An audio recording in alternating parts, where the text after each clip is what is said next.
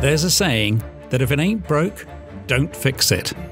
So, why did German measurement instruments manufacturer OPW approach KDAB to fix a problem with their world leading software? The problem with the current software was that its domain specific language, DSL, was too complex for the operating technicians.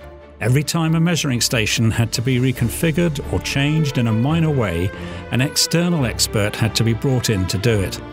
In the worst case, production had to be stopped until the measuring equipment had been adjusted. All this cost time and money. KDAB's challenge was to maintain the integrity of this world leading software, making it easy to learn and user friendly so that adjustments could be made by manufacturing technicians on site without the need to bring in an expensive expert. Using Qt was the obvious answer. KDAB rewrote the software using Qt and QML re engineered the user interface so the operating technicians could understand and use it with minimal training. We used the same language to describe the machine's hardware and the measurement and calibration process as we used to set up the user interface QML.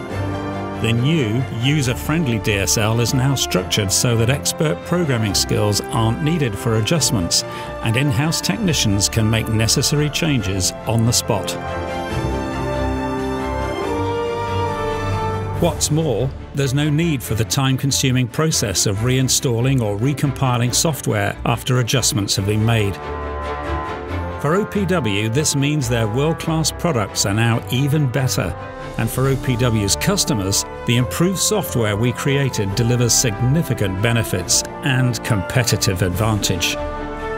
What we need and our customers need is a flexible application, and we can do that with Qt and with the help of KDAB. It's user friendly. There's no need to learn advanced programming skills. It's flexible. The DSL allows last minute customization on site. It's more efficient.